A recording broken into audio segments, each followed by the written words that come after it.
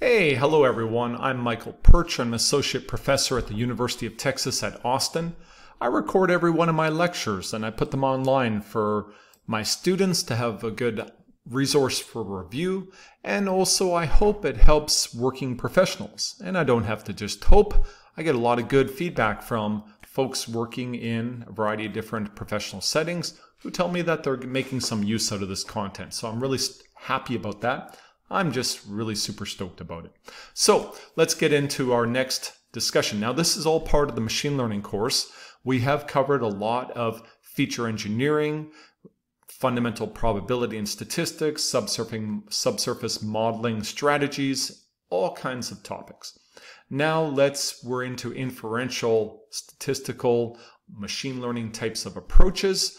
Let's now discuss in the manner of dimensionality reduction, the specific example of principal component analysis.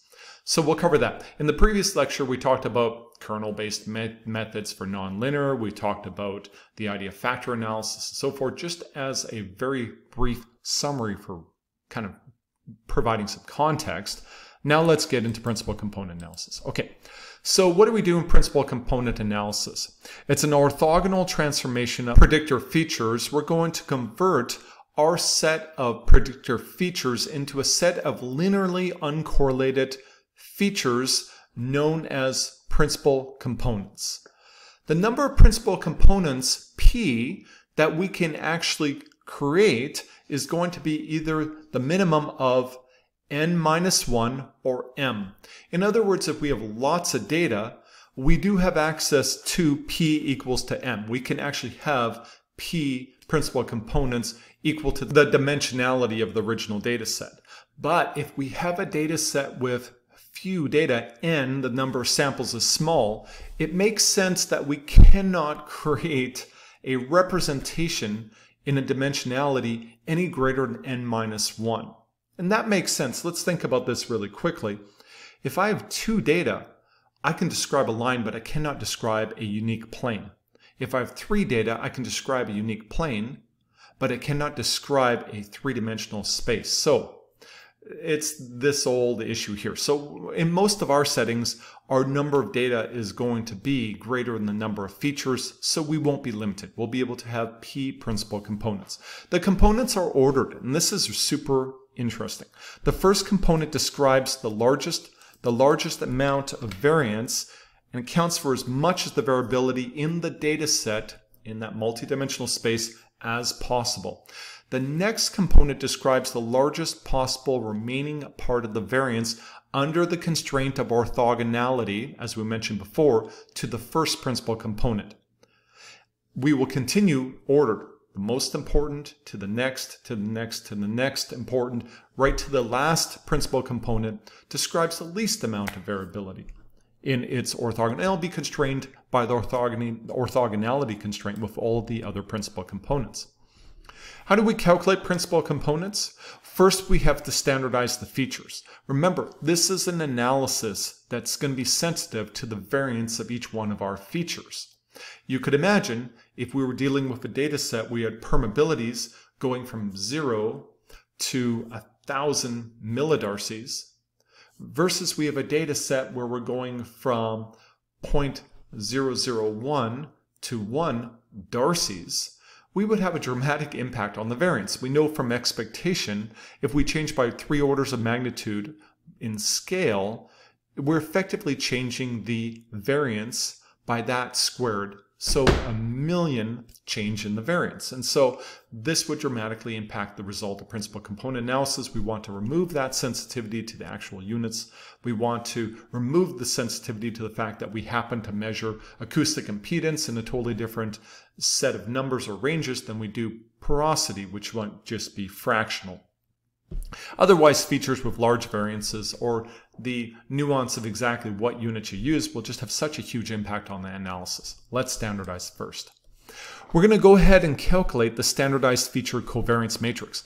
Not a big deal. We talked about this in statistics. We I have um, lectures on bivariate statistics if you're interested. Super easy to look this up on Wikipedia. The covariance. What is the covariance? It's a non-standardized correlation coefficient. But what's fascinating is we already did a standardization to force the variance to be equal to 1. If you've done that, we're in a situation where you could actually be working with the correlation matrix. Correlations are nice. They're very intuitive. They go from, ne from negative 1 to 1. They're quite interpretable. Okay, so now let's go ahead. We've got the standardized feature covariance matrix. What's the next step? We got to calculate the eigenvectors and eigenvalues. So now, at any point, if you're finding that you feel like you're um, kind of lacking the prerequisites for machine learning in linear algebra, I very strongly recommend this video series, this lecture series by 3Blue1Brown, which deals with many of the different aspects of linear algebra in a beautiful, beautiful graphical manner. I've got to tell you, their lecture on determinants, where were you back when I was an undergrad student struggling with this? Okay, so we're going to solve for the eigenvalues and eigenvectors. So an eigenvector is a vector whose direction remains unchanged when a linear transform is applied to it. How do we solve for it? We use this relationship right here, where we have C is our covariance matrix. We want to solve for the eigenvalues and eigenvectors of the C matrix. We want to solve for the eigenvectors which is v right here, and the lambda, which is the eigenvalue right here. And we can solve for all the possible eigenvalues, eigenvectors. Now, which will be m available to us. So what are we dealing with? We've got an m by m matrix for our covariance matrix. That makes sense. We've got an m by 1 matrix of the eigenvector and the lambda is just a scalar. Now we can reorder this right here as shown here just using very elementary operators in, in linear algebra. And then by Cramer's rule, we know that we'll have a solution to this system if the determinant of this component right here is equal to zero. We put the vertical bars to indicate the determinant of this is equal to zero. So we can put that together, solve for the determinant, equals zero. And when we do that, we'll get the possible eigenvalues. Then we can go ahead and substitute that back in, get the eigenvectors associated with each one of those eigenvalues. This is super powerful because we're then able to solve for our principal components. Let's see how. The eigenvalues are the variance explained for each one of the components. The eigenvectors of the data covariance matrix, matrix are the principal components. Now, so what are they? Like, how would we interpret them? Well, if we look, imagine an example where we have data in some higher dimensional space, and we were to construct the first, the very first eigenvector, this would be a representation right here. And what would it be? It, it would be a line in m dimensions that best describes the data from the perspective that when you project the data onto that line, that m dimensional data onto the line, it would describe the most amount of variance in the data set. And then if you took principal component 1 and 2, you would now have a plane that would best describe the data from the perspective that it would describe as much of the variance when we project the data onto that plane as possible. So that's pretty cool. This is this would form a very good model to describe this data set in one dimension or in two dimension, the best description we could come up for that data from the standpoint of description of the variance. Now, so we could write this out mathematically. This, there's no mystery here.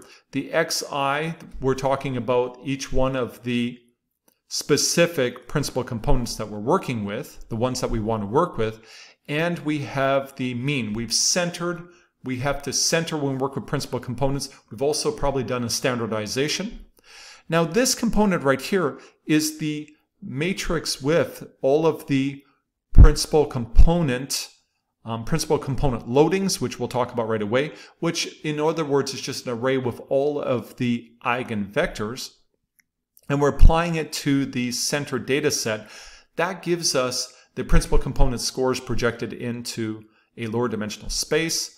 And then by applying it again, and you'll see that we can do that, we're actually getting the estimates back from the principal component scores back to the regular space. So this square difference right here is simply the difference between the projections into this these principal components versus the original data. And so we, are in fact, in maximizing the variance described within this plane, we're minimizing the variance of what we have not explained. And so that's very, very cool. We're minimizing the variance of the mismatch. And so that's very powerful. This is minimizing the orthogonal offset, or we could also think of it as a multidimensional error term. Okay, so we'll, we'll give many more details. That's just one interpretation we can use. It's a there's a relationship between um, principal components and eigenmath. We just mentioned this. Eigenvectors of the data covariance matrix are the principal components and eigenvalues are the variance explained. So that's what we just showed. Now, there are some assumptions we should cover. We have a large enough sample set for reliable correlation calculation.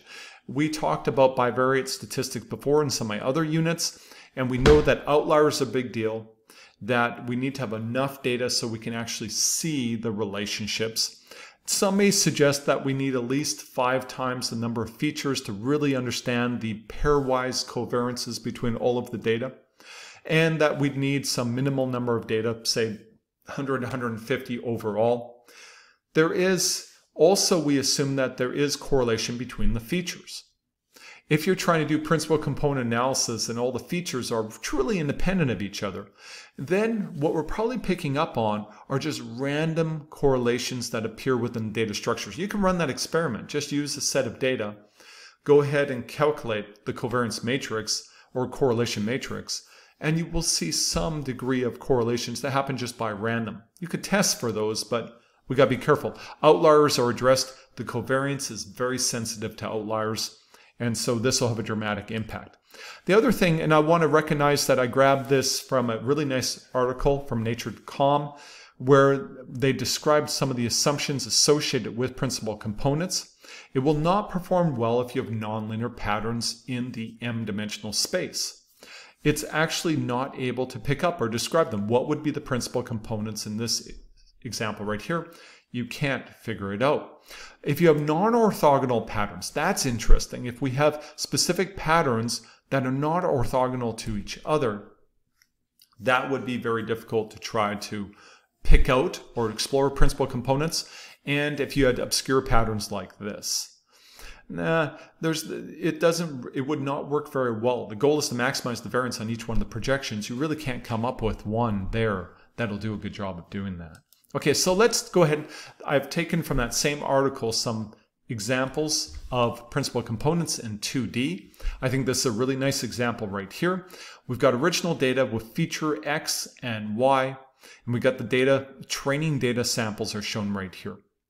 Now, if you were to project that data on X and Y, you would find that, well, as expected, it must have been standardized because the variance of the projection in X and Y are both 1. Now, if you were to actually come up with a new orientation U, project the data on U, and that's exactly what this is right here, the variance of the data projected into that vector is 1.78 you have described much more of the variance in a single feature. That's powerful. You see what we've done there? That's dimensionality reduction using principal components. We could retain just that one feature, describe this data set, and we would have captured 1.78 variance out of the total variance observed in both dimensions of 2.0. Now, if we look in the other orthogonal direction, because remember principal components, we are constrained by orthogonality. And so in 2D, once we calculate that one principal component, the other one is actually given to us by orthogonality. It has the remainder of the variance, the 0.22 described. And so that has very little information compared to U. V has very little information. Now, another way to think about this is it in fact is a rotation we have taken the original x and y and we have rotated it to an orientation that describes as much variance as possible. So we can think of it as a rotation. We'll show you it is an orthogonal transformation. It is a rotation. Okay, so it's a fitting, it really is like fitting an m-dimensional ellipsoid to the data. The length of each one of the axes indicates the amount of variance described by that component. And so we could draw it like this right here. The vast majority of the variance is described in this direction right here. We could represent that by the eigenvalue. In fact, and the eigenvalue in this direction, telling us that we describe very little variance here. Omitting an axis associated with principal component from our representation of the data set, we'd lose the information proportional to the length of that axis. If we were to retain only one and project our one principal component and, and project our data onto U alone, we would lose that 0.22 proportional to the length of that radius right there on our ellipsoid. So that's another interpretation we can use. Let me give a couple of um, more details here that can be helpful. The first principal component of a set of features, and so we have lowercase here, we're talking about the actual data values themselves. We got i with um, i representing the samples from 1 to n data samples that are available to us, and we're working with features 1 through m features. The first principal component of this set of features is the normalized linear combination of the features with the largest variance described.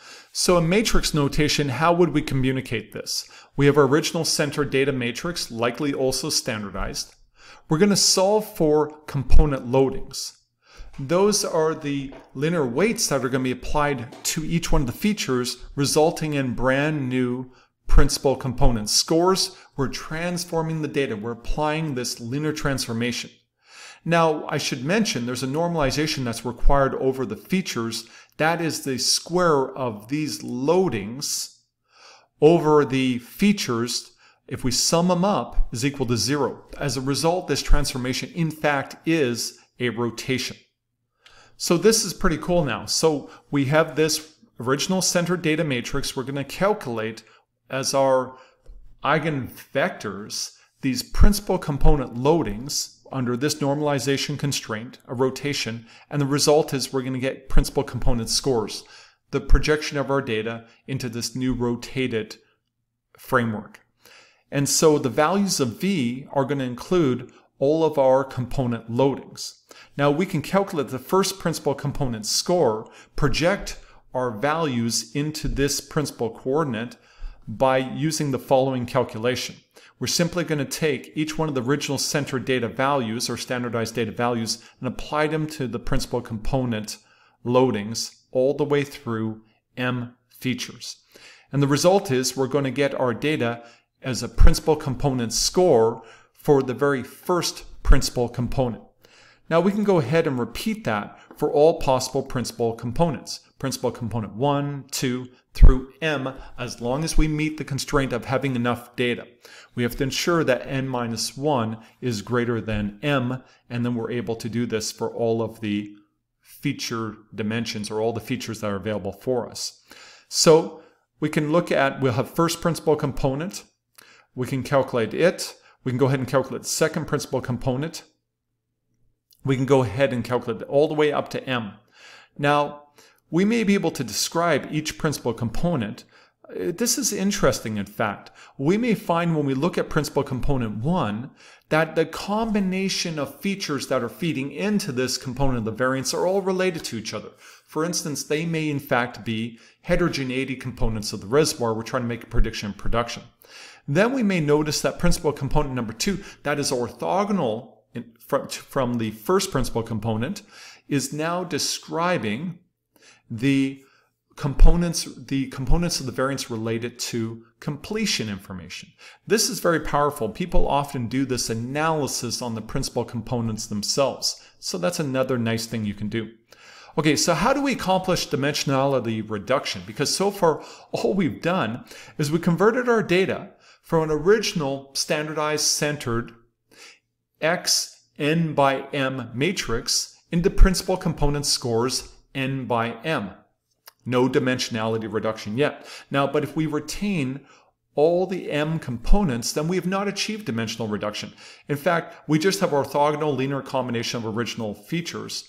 And in fact, we're a little bit worse off in fact, because these principal component scores, principal components, lose their physical meaning as I mentioned before. They're going to be combinations of features that used to have physical meaning. So we haven't really gotten ahead. We may have in fact fallen a little bit behind. We gain dimensionality reduction by retaining only p principal components, or in other words, dropping the m minus p components as they describe very little of the variance. Now the back transformation is really interesting. We can go ahead and take our principal components and we can just simply take the inverse of the V matrix and apply it to our principal components and we'll get a projection of or an estimate of our original data, our original centered data or standardized data. Now, what's really cool is since the V matrix, it's orthonormal. And so because of that, in matrix algebra or matrix, matrix math, we know that the inverse of the matrix is just equal to the transform. Now this is super cool. We just simply take the principal component loadings, apply them to the centered original data, and we get the principal components. We can take the principal components and simply apply the transform of those principal component loadings and we get the projection. And so if we think about it, we're just simply applying it again. We're taking those, those weights, those linear weights, and applying it to the principal components. So we take our principal components scores and we're just going to simply once again apply these loadings to them. And the result is we get the estimate. All we have to do is just stop short. And when we sum k equals 1 to m, just stop at p. Don't add it in don't add in m minus p components, drop them off. Effectively, it's like we're zeroing out the principal component loadings associated with the m minus p components. Ah, this is super cool. So it's very easy to go back and forth. And so what did we accomplish? A graphical representation of this idea of dimensionality reduction is this. We have an original data set in two dimension. Here's the link right here to where I've taken this image. Thank you very much. We're going to go ahead and have the original sample data right here.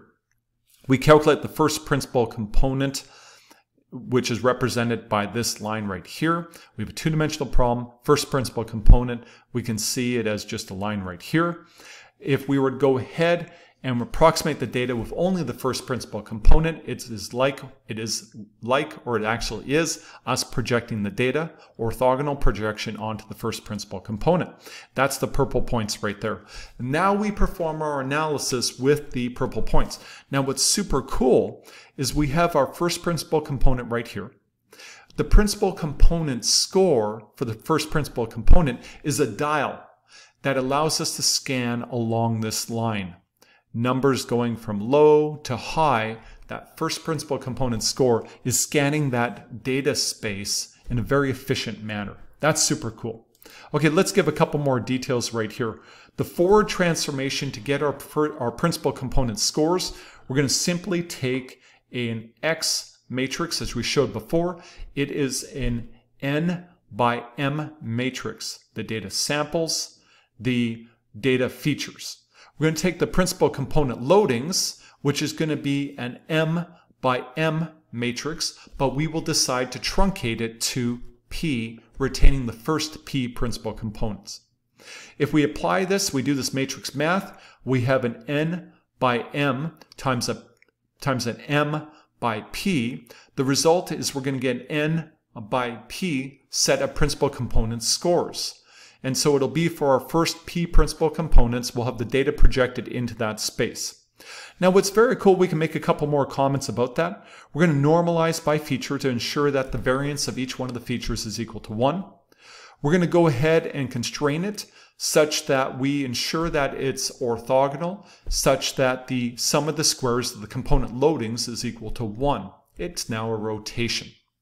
And when we look at the variance associated, if we go over the samples 1 through m for each one of the principal components 1 through p, we can see the amount of variance described in each one of these columns.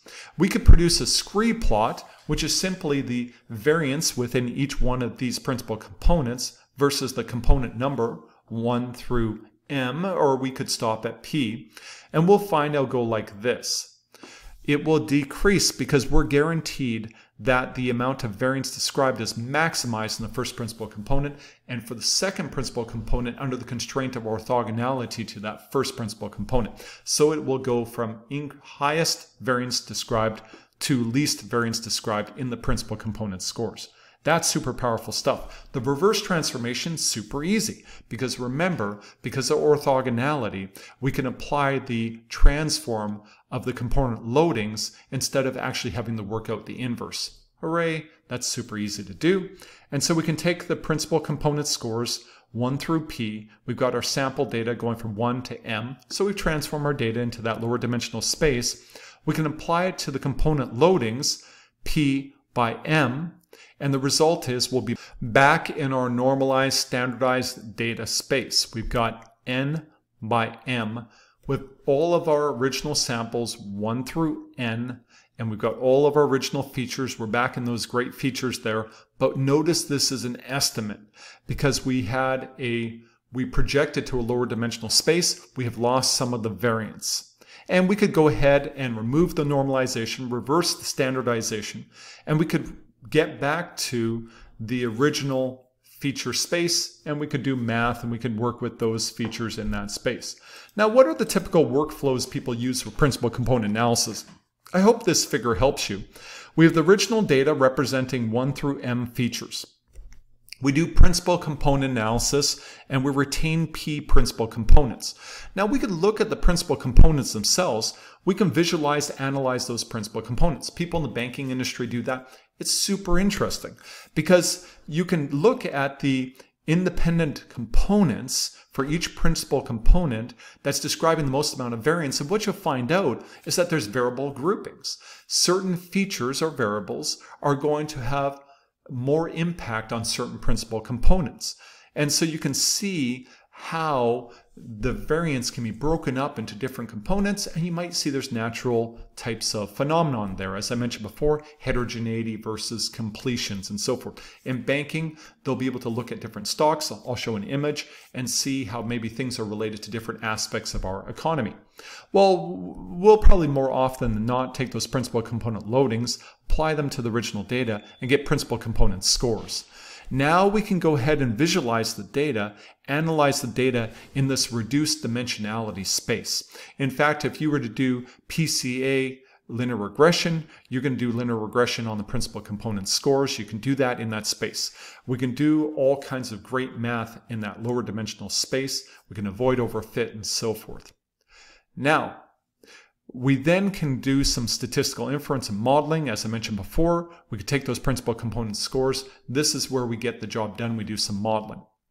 Then when we're done with the modeling, I, if I've made predictions using principal component linear regression for a result, like permeability, well, I need to transform everything back. I need to get back into original feature space because I need to actually make predictions in the original features.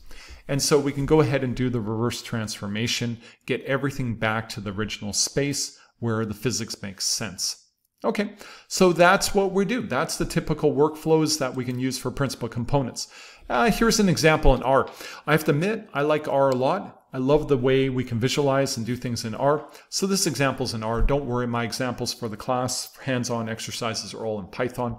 Um, I know we've been doing Python in class. We got a data set right here. We got a thousand wells with permeability, per, um, porosity, acoustic impedance, brittleness, total organic carbon, and so forth. The files here, Here's the seven lines from the file, a preview like a head command where we're looking at the first six samples. This data set is available on my GitHub account for anybody else who's not in my class, not with no access to Canvas. It's on my GitHub account under GeoDataSets repository. We can go ahead and do a matrix scatter plot, look at the relationships between the data. Lots of interesting features, some nonlinearity, kind of complicated. Now for this example, I'm going to project down or marginalize down to just two features. So we're going to go ahead and just look at two features at a time. And we have log permeability versus porosity. Nice linear relationship, really well behaved, looks pretty good. Now we can go ahead and see if there's an opportunity for us to try to do principal components to reduce dimensionality from two dimensions, two features to one. We go ahead and calculate the principal component loadings and we get a matrix like this. Pretty straightforward. It provides on the columns principal component 1 and 2. And then for each one of the variables or features, pore and log permeability, we have the individual loadings. We can see them right there. So we can calculate principal component scores as follows. Principal component score number one, just take principal component loading associated with porosity for principal component one, right here, apply it to the standardized or centered porosity value at sample number one, take the principal component loading for log permeability associated with principal component 1 right here and apply to the centered log permeability for data sample number 1. That gets us principal component score for sample number 1 for principal component number 1. And you can repeat that for all of the i through n data samples and all the 1 the 1 through m features that are available to us. And that will, from that, we've now mapped our data into principal component scores. Let's look at it. Let's see what that looks like. We got original data shown right here. We got log permeability versus porosity, and that, that was it originally. Now this is principal component score number one, principal component score number two. Look at what happened. Look really carefully. You see these two points? See the two points there? See these three points, these three points here? All we've done is a rotation and there was a standardization, so things have spread out a little bit. But that's all we've done. And so now we have principal component number one and two. Now here's a question. What would we lose if we were to go ahead and use just one principal component, reduce the dimensionality down to one? We've got principal component one and two. We go ahead and calculate principal component scores for principal component one and two, plot them. We zero out principal component number Two, we're zeroing out its loadings, or we could effectively just remove it from that previous summation that I showed before in order to do the transformation. So now we go ahead and we've got our data set represented in only principal component number one. Principal component number two is just zeroed out. I could have put it on a one-dimensional plot. Then we inverse the PCA. Principal components by simply applying the transform of the component loadings to this data set. We've zeroed out the second loading. We don't have to use that. And now this is the data representation right here. We went from here to here. We described the most amount of variance in one dimension like this. And the result in porosity, permeability, we're able to now do modeling. We can work with that. We have, in fact, what's really cool is we can use that principal component score and we can actually scan through the data in using just one value, one dial. That's pretty powerful right there. Now, biplots are often used. This is not an interesting biplot right here. They're more interesting when their high dimensional problems are being shown. But what we usually do with a biplot is we show the principal component score one, principal component score number two, and then at the same time we plot the loadings for porosity, permeability. And what you can see from that is you'll see if we had a bunch of features and you saw a bunch of them clumped up together and working in the same direction, it would tell you, oh, in principal component number one, we're mostly dominated by these features that have lines that are going in that direction. And then maybe we have a bunch going this direction, and we'd say, oh, principal component number two is dominated by these features. This is very powerful. In this plot right here, it's a little bit kind of trivial since it's only two-dimensional. Now scaling, what if we had not performed a standardization on the data? So if we had not done that, so if we had not done scaling, this is what the data would look like. We would have saw that the vast majority of the variability is described by porosity and that in fact very little of the variability is described by the log permeability. And that would just be due to the nature of the difference in the values. Look at this. Log permeability going from 0 to 3, porosity going from 8 to 22. And so it would porosity would dominate. The first principal components, the loadings for porosity would be huge. Permeability would be relegated just to the second principal component with very little bit of the variance described. Now we could go ahead, going back to our standardized state, we can calculate the amount of variance described by just simply looking at, for each one of the principal component scores, we can just calculate, they're centered already, so we can go ahead and just take the sum of the squares of the values over the data 1 through n, and we'll get the variance described for each one of them. So if we do that, what we'll find is 89%, 90% of the variance is described by the first principal component and 10% of the variance described by the second. And if we look at the, going back to these drawings right here, this is describing 90% of the combined variance. Uh, so that's really cool stuff. So this is what we call a scree plot. Once again, not super interesting when we're only working with two features, but we, we worked with two features for this example It'd be super easy to visualize and understand what's going on. Okay, let me touch on this because I mentioned it, but I want to do a better job of it. Eh, job of it. What can we do with principal component analysis? Well, first, I showed the workflow where we were simply interpreting and starting to understand what's going on. We can look at the loadings, but another thing we can do is we can work in this lower dimensional space and do things like make predictions.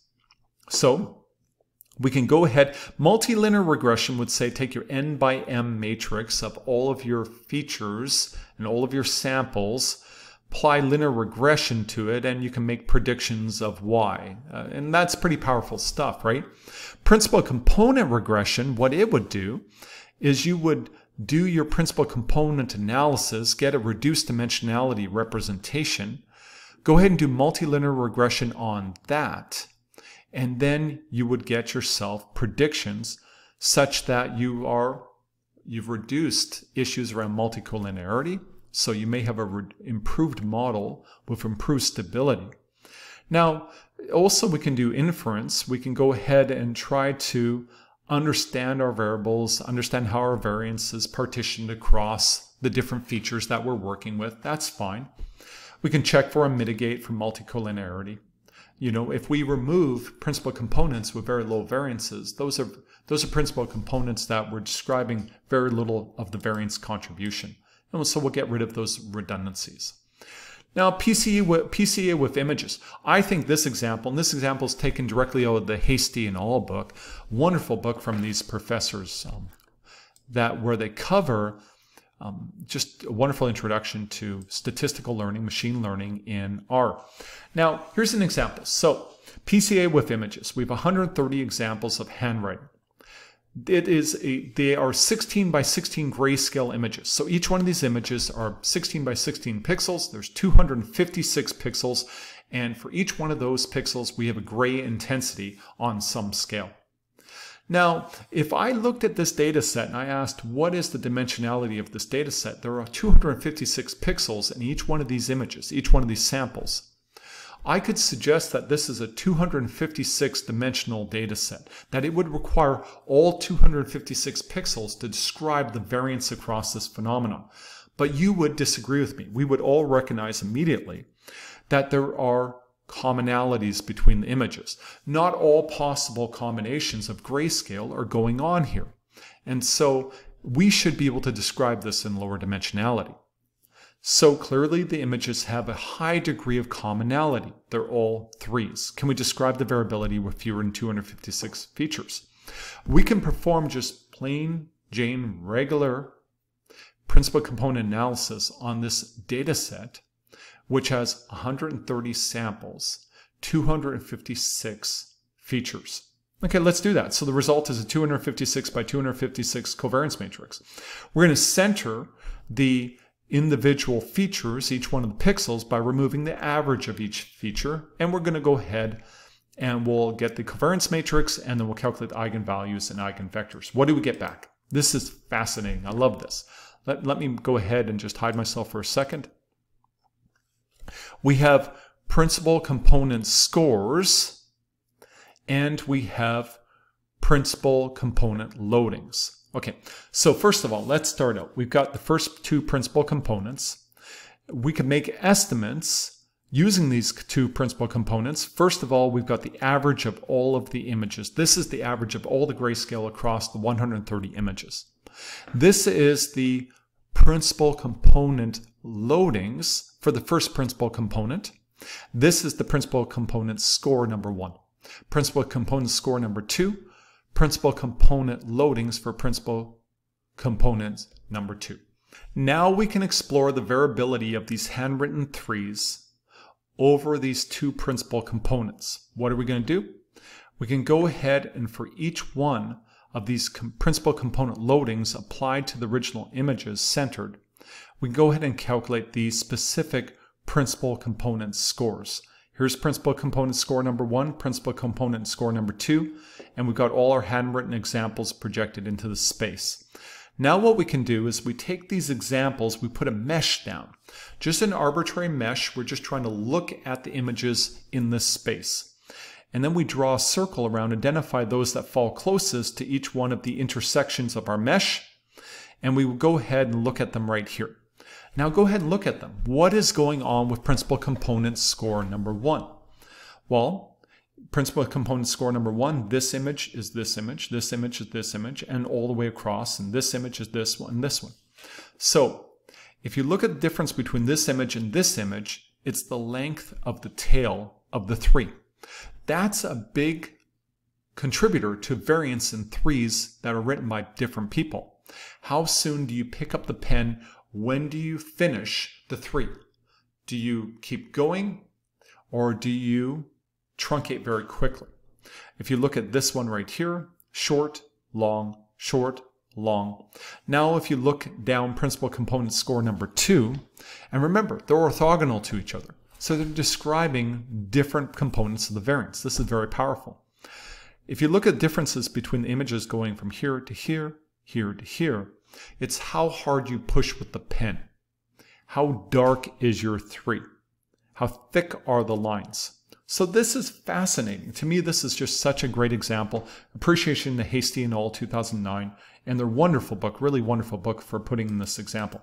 Now let's do something with the subsurface. Here's an example taken from um, Chopra and all, where they were they were using principal component analysis on various different seismic attributes. And so they had six seismic attributes. And what they did was they looked at principal component analysis, looking at these images once again, pixel to pixel.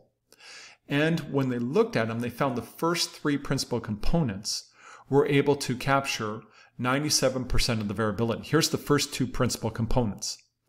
Now, what's interesting, you can look at them and they're seeing different components of the seismic. They were able to use these components, and in fact, what I believe, if I remember the paper, was by removing some of the lower principal components, they were actually removing some of the noise from the seismic image. Okay, so there is a well Python and Jupyter Markdown HTML file available that describes a workflow for principal components, same workflow with some expansion to what I've shown in the course material. There's also, you can go back to the original workflow. It's located on GitHub. It's in my repository, Python numerical demos with a bunch of subsurface data analytics. This is all, these are all the workflows for this machine learning course. Go ahead and check them out. Try it out, make some modifications, use it for yourself, get started with principal component analysis. Now, here's some examples right here of using principal component analysis in subsurface modeling, modeling multivariate relationships while avoiding overfitting, porosity from a set of seismic attributes. People have been doing this for a long time, in fact. Principal component analysis has been used a lot when it comes to seismic attributes. Image analysis, seismic information, separating multiple attributes into information and noise. That's been done. Analysis of feature grouping, redundancy. That's pretty cool, specifically when we get into unconventionals and we have a lot of different features to work with, it's very valuable to see how they group together, reducing dimensionality to support simpler modeling workflows. Working in lower dimension is, it's easier. It's much easier to be able to work in these lower dimensions. All right, so this was our lecture on principal component analysis. I hope that this overall discussion, this set of lectures on dimensionality reduction has been useful to you. Once again, I'm Michael Pyrcz. I'm an associate professor at the University of Texas at Austin. It is my pleasure to record all of my lectures and put them online to support my students. And also, I hear that there are working professionals who are working through this content, refreshing and gaining new capability to face the digitalization challenge. That's why I do it. I'm here to try to help with that. As far as I'm concerned and what I learned from my time in a very good company for 13 years was we win together. We're all in it together. We're all winning together. Now, I'm also the Geostat guy on Twitter. Go ahead and follow me on Twitter for content and only occasional kayaking and hiking pictures. I um, also am Geostat Guy lectures on YouTube, and I also do GitHub. Geostat Guy on GitHub, you can get all of my demonstrations, lots of code. I wrote a package for spatial data analytics geostatistics. It's all available to you on GitHub. All right, I hope this was helpful to you. Hey, thank you very much for watching. Take care, everybody.